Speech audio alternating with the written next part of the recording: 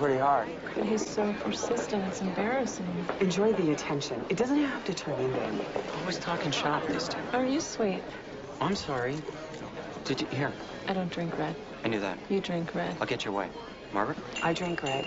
Or champagne's fine. I want to thank all of you for being here for the unveiling of these plans for the Bartlet Presidential Library. Among the wounded, two peacekeepers remain listed in critical condition at Landstuhl Regional Medical Center in Germany.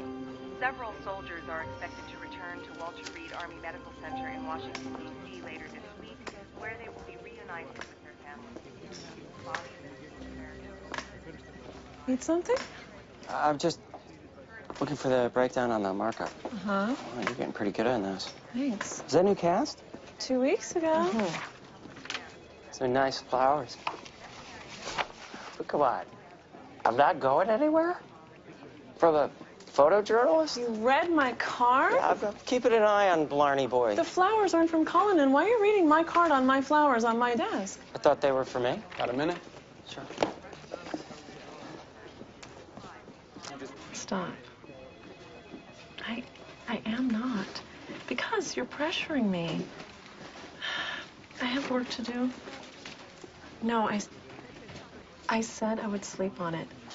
But I did, and it's just not how I do things. It's not. No means no. Leave her alone. Who's this jerk? Some slacker from physical therapy? I'll kick his ass. And you could thank me for my chivalry. We need a stronger response on the patient's bill. Tell her Juice it up. High octane. I thought we wanted a patient's bill of rights. Not this demon seed. The Republicans won't budge on the liability cap. Patients won't even be able to recoup their out-of-pocket expenses. Some rights. So when Will said Santos picked up eight more votes from our side, And a stampede of Republicans. it's bad news. You want to distance the White House. I want the White House in a different galaxy. Excuse me.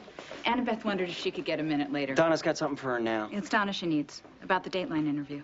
What am I doing Dateline? Never. I mean, I've said no on your behalf. I'll follow up. Well, I was just thinking that maybe we ought to stop butting into other people's I'm sorry. Am I interrupting? Not a bit. Thanks for stopping by. Stop trying to make You heard from Dateline? I already told them no and three others. Only make them chase you harder. Now I've got CAA calling. What does the CIA want? No, CAA. Talent agency. I think you need representation. Is this about the CBS thing? Yeah. I don't even want to do an interview. Now I'm a movie. MOW. Is that different? More likely to get made. It's all ridiculous. Why? Girl next door travels to a war-torn spot, survives a terrorist act to bring a message of peace back to her president.